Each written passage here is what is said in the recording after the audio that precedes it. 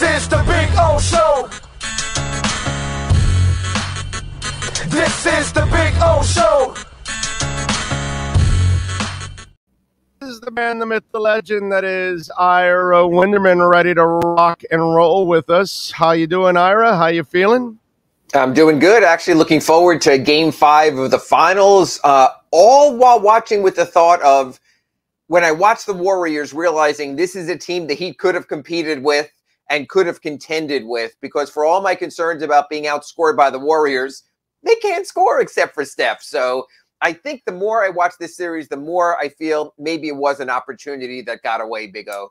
Yeah, or, or I mean, who knows what happens in a different environment in Miami or whatever. But I almost feel like it they're due also. I almost feel like Poole and man, Draymond looked like he was completely out of sorts the other night.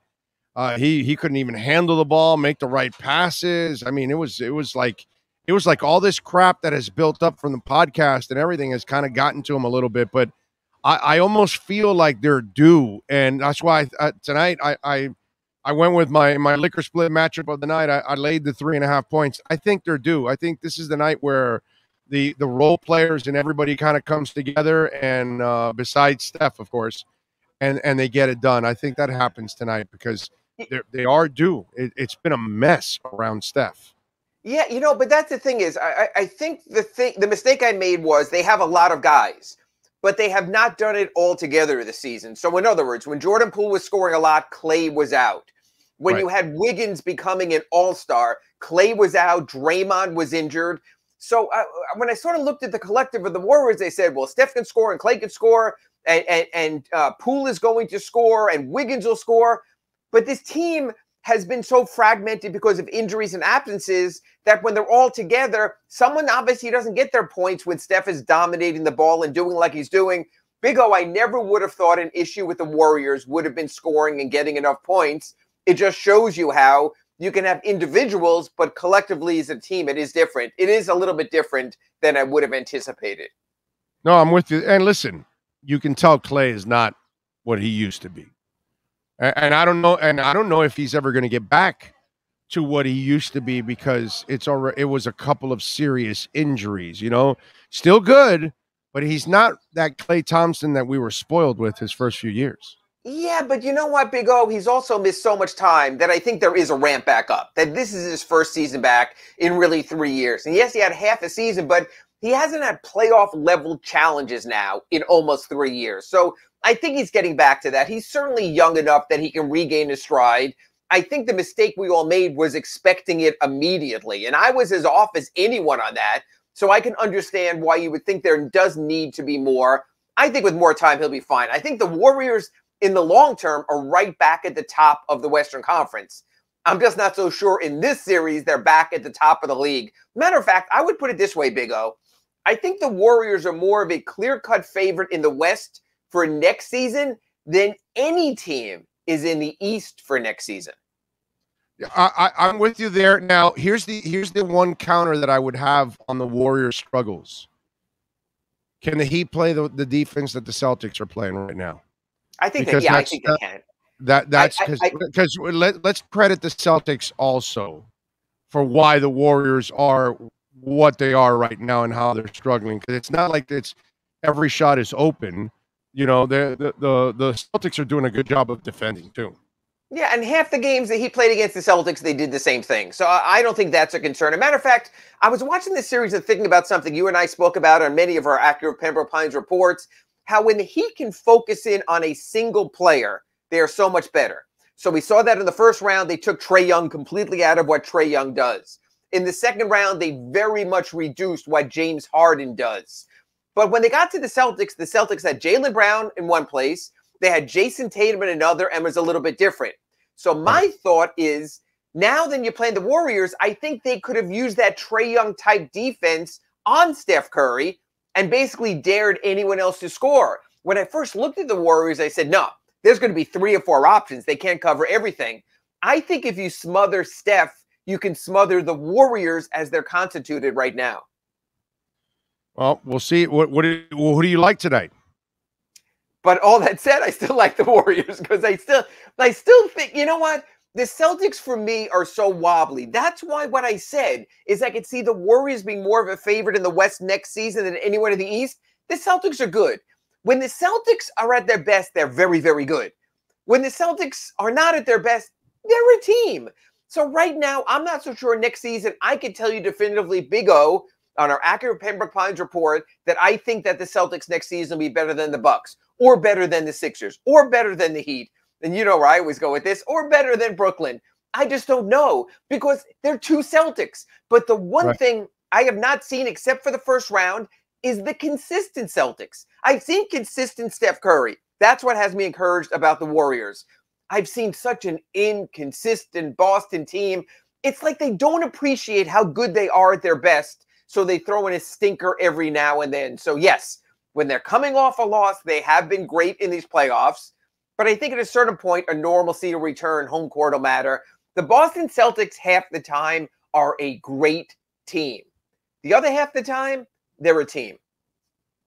Well, listen, in the end, that's what kind of frustrates you know Heat fans that they didn't that Butler didn't have that extra guy to kind of get them over the top. And then the Celtic fans have been kind of frustrated over the years that those guys weren't getting over the yes. hump, and they finally got over the hump now. You know, in the end, I, I know that we start off the conversation that maybe that he could have had these these Warriors until they find that second guy to help out Jimmy they're not going to put themselves in that position because now we're asking Jimmy Butler to carry you all the way through the end. And I think that's just not fair to him because he's not that kind of player that dynamically, offensively, he can actually do what Magic did, you know, for the Lakers as a rookie when he played center and he had to fill in and all that kind of stuff. It, it just becomes a little bit too much for the Heat right now to be in this position until they find that star.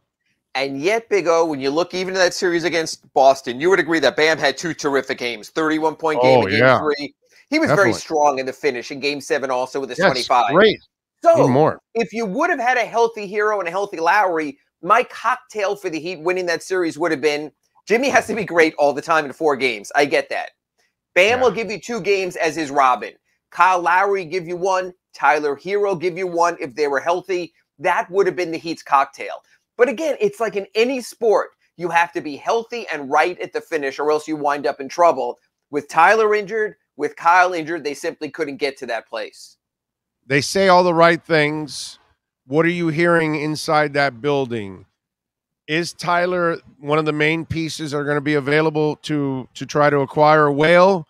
Or do they think that Tyler can turn into some kind of a little whale next to Jimmy Butler? Well, here's your aggregational moment. You can put this out on your Twitter. Tyler Herro absolutely will be out there and will be mentioned and will be shopped, but not for anything necessarily to do with Tyler Herro. Like I wrote in my Sunday column with the Sun Sentinel, he's their only chip. He's, in other words, Big O, you're the general manager of 29 teams, which you've always wanted to be. If you're oh, calling yeah. the Heat, let me ask you, because you have to also have a certain logic about it. So if you're calling the Heat as an outside GM and you're trying to gauge trade prospects, you know they're not trading Jimmy. You know they're not trading Bam. You know they can't trade Kyle. So who the hell else are you calling unless you're yeah. starting your discussion with Tyler Herro? Yeah, Tyler and Bam and and first rounders are the, the the buffet that's on the table for the trade. Not Bam. I don't think Bam. I think Tyler and Duncan no, no. Robinson's Did. I say Bam?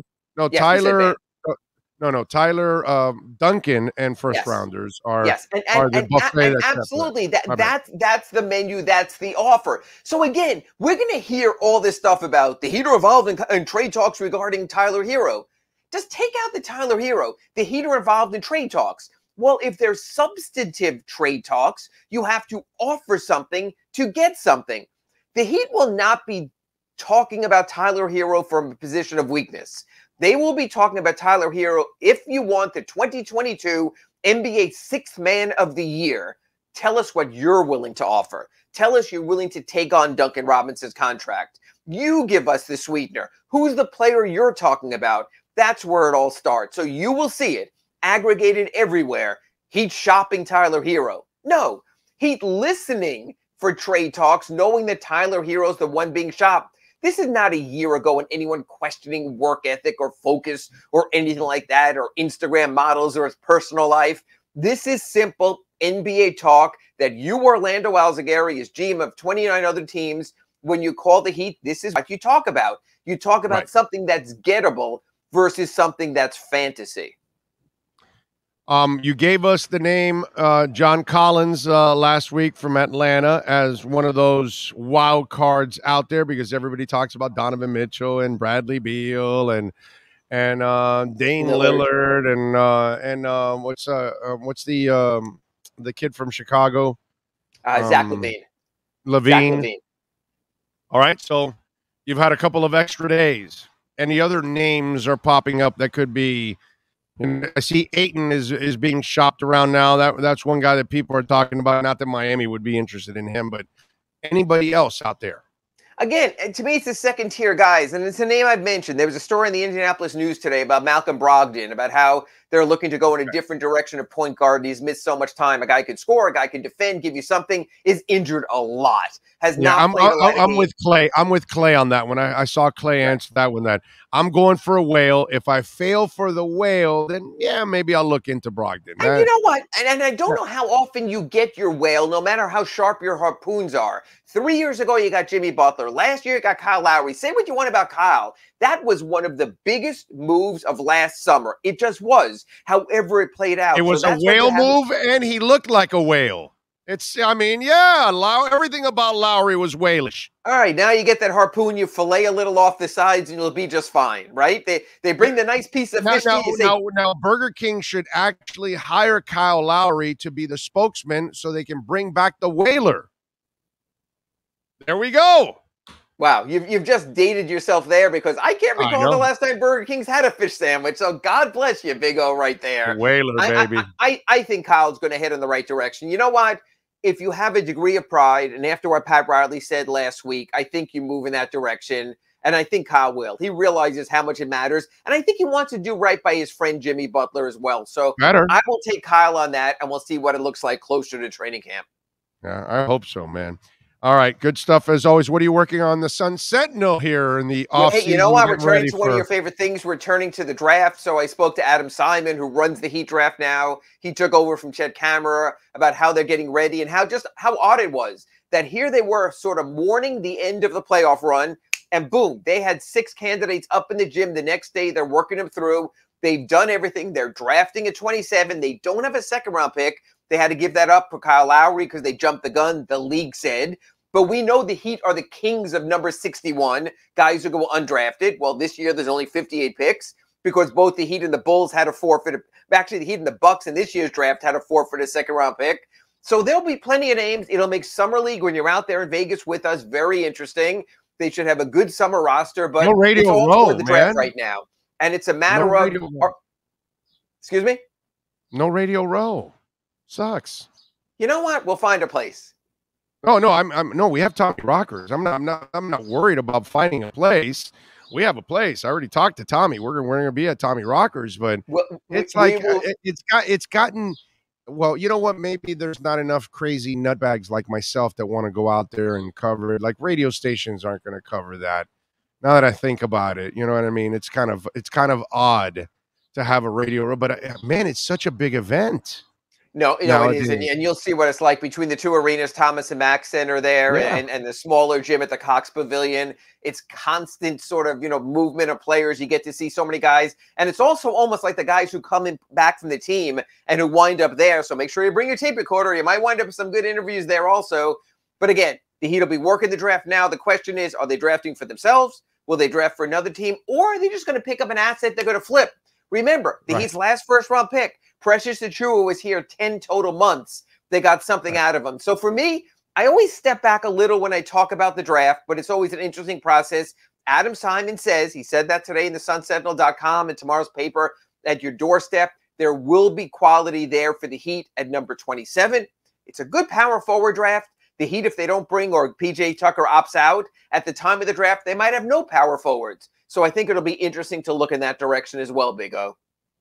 All right, so we'll wrap it up with this with Ira Winderman and our Acura Pembroke Pines Miami Heat and NBA report. If you had to put a percentage point on it from 10% to 100%, what is the percentages in your mind, in your gut, that tell you the Miami Heat will acquire that other Batman, Robin, Whale, whatever it is that Jimmy needs next to him next season?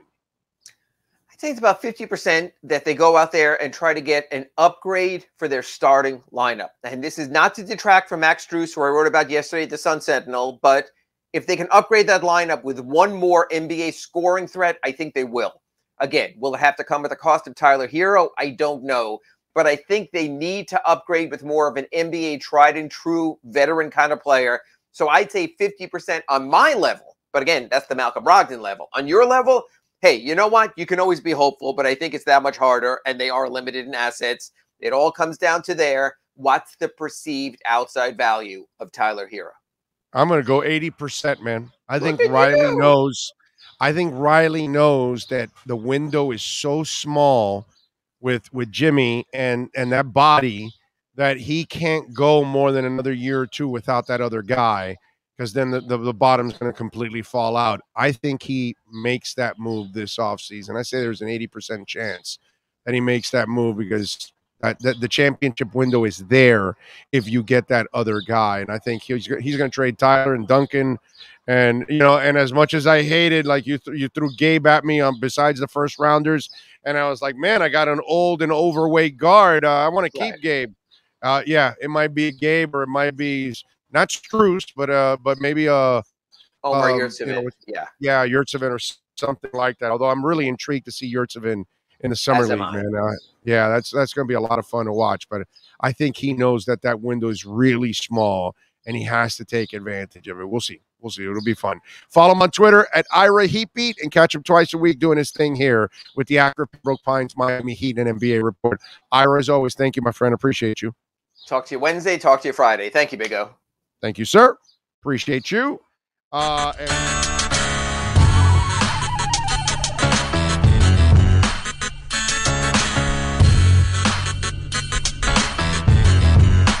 This is the Big O Show.